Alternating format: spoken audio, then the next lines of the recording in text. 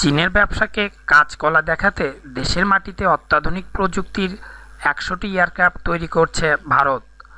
একশোটি military aircraft তৈরি করার সিদ্ধান্ত নিল ভারতীয় সংস্থা হিন্দুস্তান অ্যারোনটিক্স। সম্প্রতি এই এয়ারক্রাফট তৈরির কথা ঘোষণা করেছেন H L. Trainer aircraft HTT forty তৈরি করা হবে বলে জানা গিয়েছে। দেশের মাটিতেই তৈরি হবে সেগুলি। এছাড়াও এই সংস্থার আরেকটি লক্ষ্য হলো আরও এক ধরনের হেলিকপ্টার তৈরি করা।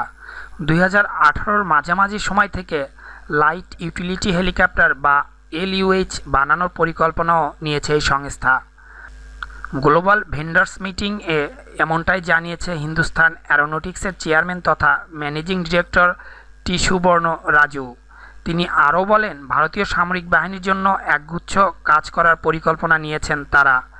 এদিকে রুশ সংস্থা রসটেক স্টেট কর্পোরেশন, বেঙ্গলুরুতে হিন্দুস্তান অ্যারোনটিক্সের কারখানাতেই তৈরি হবে একশো চল্লিশটি হেলিকপ্টার।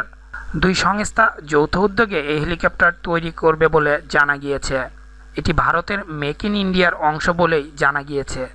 দেশে এইসব হেলিকপ্টার তৈরির ক্ষেত্রে গত মে মাসেই দুই দেশের মধ্যে একটি চুক্তি হয়েছে।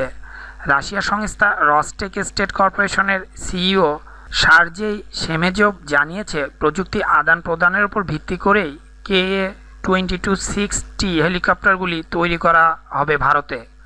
ডিজাইন চূড়ান্ত করার কাজ ইতিমধ্যেই সারা হয়ে গিয়েছে।